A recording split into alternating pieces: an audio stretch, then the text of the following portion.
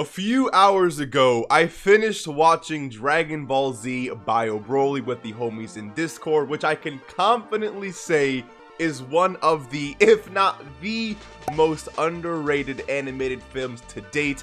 In this honest movie review, I'm going to unearth the secret life messages hidden all throughout this film, making it something you're guaranteed to appreciate. I'm going to also kindly ask that you please stay tuned until the very end as I have a very important message for you. There's three quick things that we need to clarify in order to make this review one that you can easily understand and appreciate. You see this thing right here?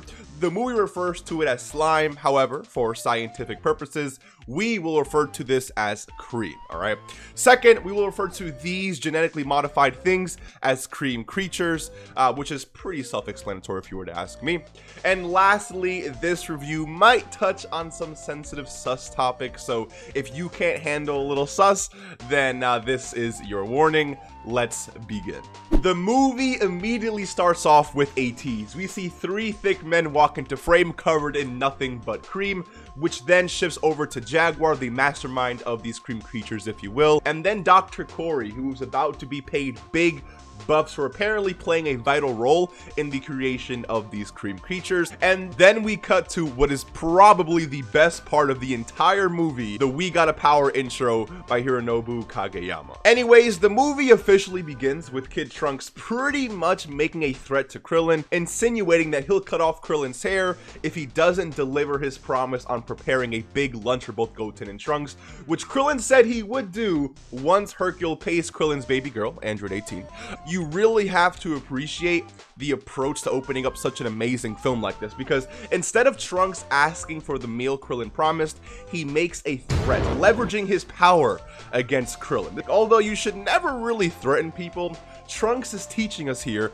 that if you have an advantage in life, it is to your advantage to take advantage of your advantage. Right after that, a man in a blue coat pulls up in the Dragon Ball equivalent of the DeLorean, if you will, and upon looking up, his buttons snap and his pants fall. This has to be one of my favorite messages in the story. This guy obviously wanted to look good, to be prepared for the business he had with Hercule later that day, but being so caught up in him looking cool caused him to take the first L in the movie. Do not be that guy.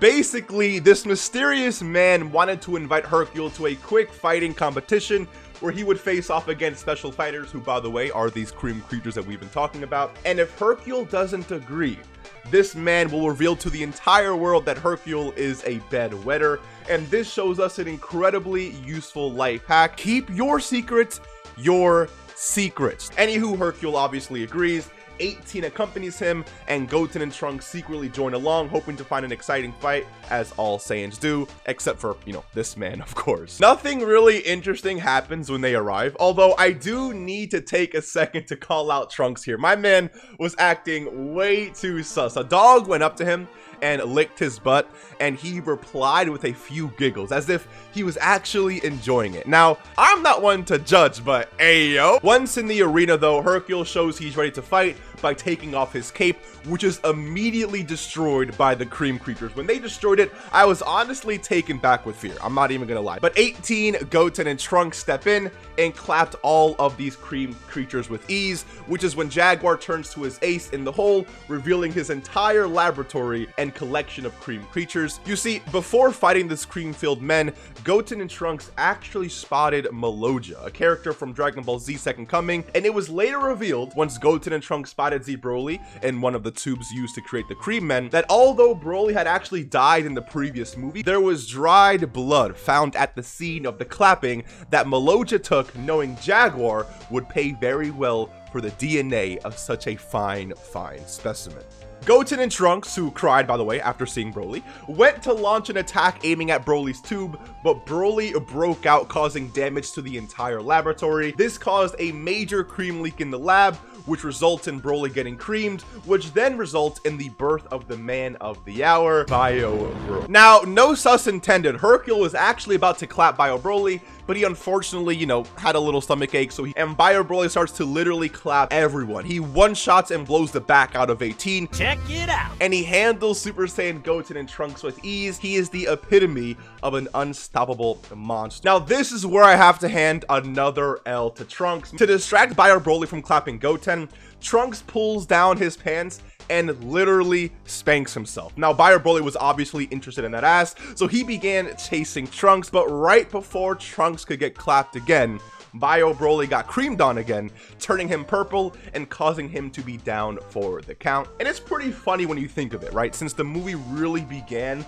with Broly getting creamed on and basically ended with him getting creamed on. And at this point, Hercule, 18, Goten, Trunks, and the other lab members began to evacuate the premises as the cream was spreading everywhere. Check it out. But that's when Goten realized something. The cream was weak to water. Goten, Trunks, and Krillin then launched a joint attack, Dokkan moment by the way, to the water, causing it to splash all over the land, putting an end to the spread of the cream.